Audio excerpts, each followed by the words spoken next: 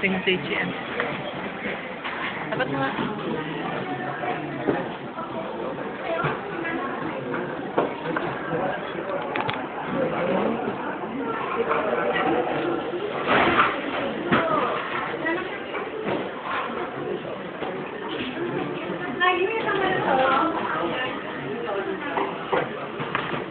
Ah, gutom na gutom eh.